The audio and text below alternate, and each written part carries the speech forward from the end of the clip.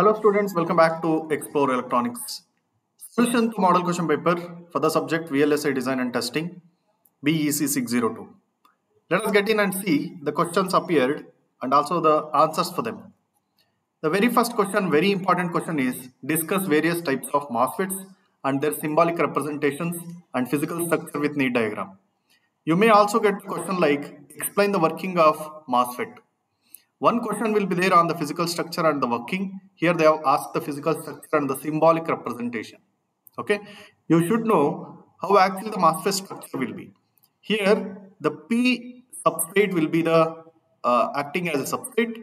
Inside P substrate, we are creating two N regions. Then it becomes a NMOS transistor. In the NMOS transistor, we will be having two N plus regions acting as source and drain. Above that, we will be having SiO2 layer above that polysilicon is there. That is gate. Similarly in a pmos transistor the difference is that substrate will be of n type silicon and source and drain of p type silicon. Then above layer SiO2 is same and polysilicon is same. This much explanation you need to write while explaining the physical structures. Then you can write the symbolic representation like this. Since this question is asked for 8 marks you need to write more explanation and also all the different structures we are going to represent the MOSFETs. You can see this is the simple structure representing N MOSFET and with a bubble if you write at the gate it is P MOSFET and without a bubble representation with an arrow mark at the substrate terminal from the substrate towards the channel if you put one arrow mark that indicates the PN junction formed inside the transistor. That also shows which is N MOSFET and which is P MOSFET. Here you can see the clear cut explanation and also a separate video is there on this topic. You can visit the playlist and see different videos. And also we will be having one more playlist for uh, VLSI. You can see that old playlist also. There you will get previous year question papers and the model paper solutions as well as in-depth explanation for the topics of VLSI. And this is about the symbolic representation and also the physical structure. This carries 8 marks. Then comes describe how MOSFET is acts as a switch. This is also a very important topic. N MOSFET and P MOSFET both are shown here. If the N MOSFET gate is connected with logic 1, then it will be on. And when gate is connected with logic 0 or 0 volts, the transistor will be off. It means you can see here when S is equal to 0, S is a gate input. It is 0 means transistor will be off. We call it as open switch switch is open. Similarly, when the P transistor gate is connected to 1, the switch is open. The on case is reverse. When S input at the N transistor is 1, gate input is 1, transistor is on in N MOSFET. When the gate input is 0, P MOSFET turns on. But one more step ahead you need to understand this. N MOSFET will pass good 0, poor 1. P MOSFET will pass good 1 but poor 0. This much of explanation is sufficient with these diagrams for 6 marks. You need to explain why this S is equal to 1 makes the transistor to on.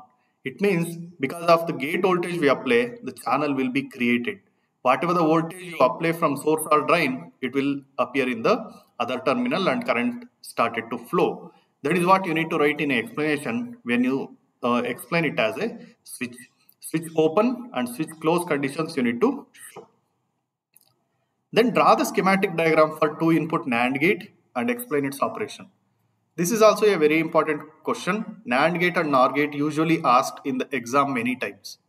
A into B whole bar. Remember if it is a CMOS implementation, whole bar is compulsory. If whole bar is not given, you should convert that expression into a whole bar form. Then you need to write the circuit. The simple trick to write this is you have AB inputs, Y is output a into B means you should have two N transistors with gate input A and gate input B connected in series manner. If it is series, the parallel transistors we need to connect in P network. Above two are the P transistors, below two are the N transistors. If you are connecting in series, it gives A dot B uh, with N transistors. If you connect in parallel in P transistor network, it gives A dot B bar. So at the junction, we will be taking the output Y. Here is the truth table for NAND gate. Two input NOR gate can also be asked. You need to explain which transistor will be conducting to provide this one output, right? Similarly, zero. That is how the six marks will be given. If you just write the schematic diagram and the truth table without operation explanation, you will not get full marks. You can see here, explain it operation is there in the second half of the question. That is very important. Then comes the schematic diagrams for the following Boolean expressions. If you study the circuit diagram, how we are going to write, you will get 10 marks. In this subject, circuit diagram using CMOS, circuit diagram using other logic circuits uh, methods in the subsequent modules are very important and you will easily get 10 to 20 marks just by writing the circuit and explaining its operation. You can see here A into B into C plus D into E whole bar is there.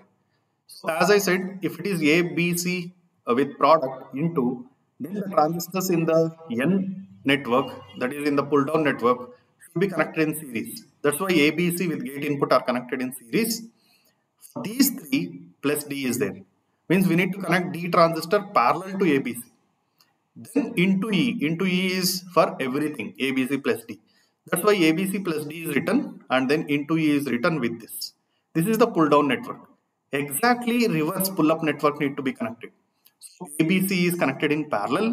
Then D is in series with that. And for total circuit, E will be in parallel. At the junction over here, we need to take the output. This is how the circuit will be designed. For any other complex expressions or for NAND gate or NOR gate or any of the CMOS uh, logic circuits you need to study, please visit the playlist and try to get the video on that. I have explained how the CMOS and other logical uh, methods need to be used to construct the circuit in VLSI. Then comes the second question, y is equal to a plus b into c plus d whole bar.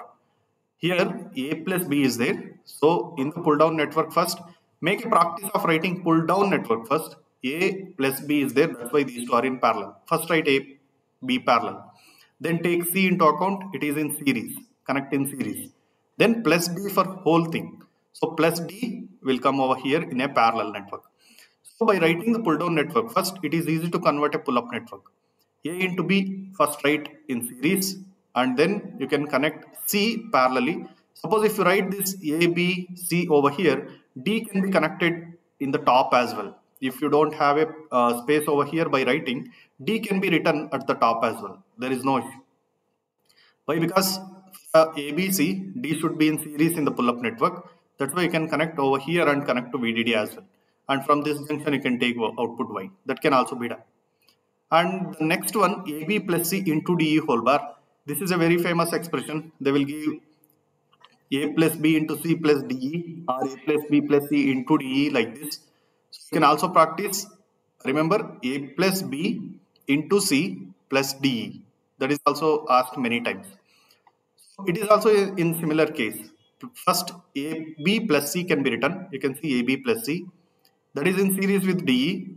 It is product DE. So DE here. And then in the pull-up network, exactly reverse.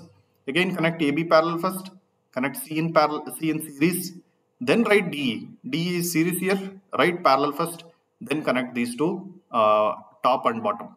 At the center, we can take output Y. This is how the circuits can be written. Remember, if you know the circuit uh, writing using CMOS network, you will easily get 6 to 8 marks. Here it is asked for 10 marks.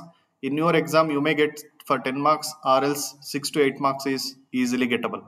And also if you know the derivation of this uh, CMOS current, you will get another 6 to 8 marks easily. So that is what first part of the video. So keep checking the playlist and be a member of the channel to access videos early. Thank you.